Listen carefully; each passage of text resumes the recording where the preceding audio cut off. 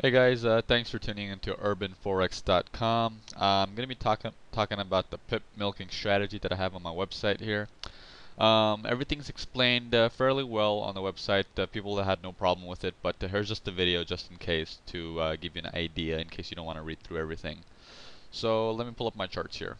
Okay, you can use this on the 15 minute time frame all the way up to an hour. I currently have it set on one hour. Um, I'm looking at the Euro GBP right now. This is the one hour chart.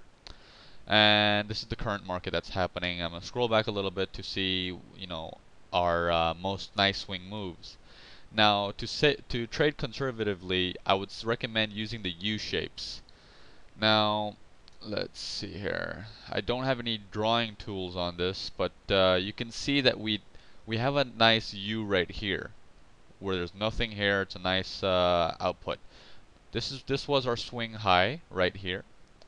Okay, that's our swing high, and then we had a higher swing high after that. Look how uh, the difference is. This swing high is much higher than this one. Okay, so we know that we were in an uptrend at this point. We had a swing high, swing high. Once that's clear and you see that there's a U shape here and then a U shape right here, you want to draw your entry, you want to set your entry at the high of your swing 1 and you want to enter once it comes down from your swing 2. And you can see that the trade pretty much bounced pretty much to the pip to that level. It went against you maybe 5 pips at tops and it went in your favor of approximately 52 pips.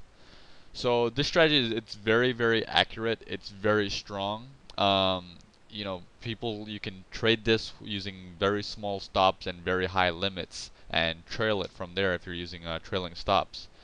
But uh, that's pretty much concludes uh, the pip milking strategy. Um, if you have any questions towards the bottom of the strategy on my website, um, there is a comment section if you want to just put in your name and your comment or a question and I can get back to you probably within 24 hours. Okay, I hope the strategy was useful and if you have any questions do let me know. Thanks for tuning in. Bye bye.